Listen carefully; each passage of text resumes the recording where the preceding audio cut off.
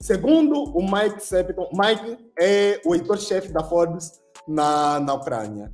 Ele publicou de que a guerra que está acontecendo na Ucrânia não é apenas contra a Ucrânia, mas sim contra o mundo. E ele fez aqui uma série de, de tweets sobre alguns, alguns fundadores de empresas que hoje em dia são empresas gigantes no mundo, que tiveram ucranianos como fundadores ou cofundadores. E ele colocou aqui alguns exemplos, como o WhatsApp, que teve, uh, foi fundada por um ucraniano imigrante nos Estados Unidos da América, que nasceu em Fastiv, que é uma cidade da Ucrânia, uh, que se chama Jan Kom.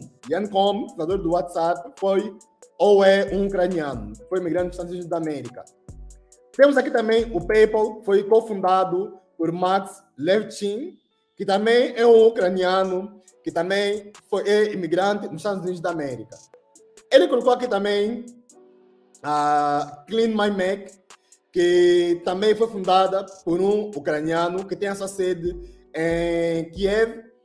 Também tem um, os outros aplicativos como Readable, SparkMail, que também foram fundados e foram criados em Odessa, que é uma cidade que está em ataque na Ucrânia. Também citou Snapchat, que também foi comprado por, por um, um, um grupo, uh, um grupo da Ucrânia, um grupo da Ucrânia, Uh, e também coloquei um outro projeto que faz parte da Fortune, Fortune 500 Business, ou seja, uh, que é das melhores empresas de software do mundo, que é People AI, que também foi criada por, por ucranianos. Tem também Grammarly, que também foi criada por, por ucranianos. Grammarly é usado para ajudar a escrever, para escrever redações. Revolut, que é uma aplicação muito popular aqui na Europa, na verdade é a aplicação número um de finanças europeia, foi criada, por, cofundada por um ucraniano, o Vlad Yantsenko, e dentro do universo cripto temos o fundador da Solana, Alex, Alex Yakovenko, que é um ucraniano, e o Nier Protocol, que também é um projeto muito bom, também foi fundado por um outro ucraniano, que é a Lilia Polosuki. Então, todas as empresas que estão aqui valem bilhões e bilhões de dólares e foram fundadas ou fundados por ucranianos. Solana, Nier Protocol, Revolut, People AI, Snapchat, uh, temos aqui MacPow, PayPal, WhatsApp, foram fundados ou cofundados por ucranianos. Então, nós conseguimos ver que ucranianos, além da mídia, também têm poder financeiro. Então, isso quer dizer que talvez muita coisa que nós estamos a ver na mídia pode ser financiamento desses ucranianos que têm muito poder financeiro e estão a pagar a mídia para fazer a publicidade da guerra, para tornarem a guerra mais visível.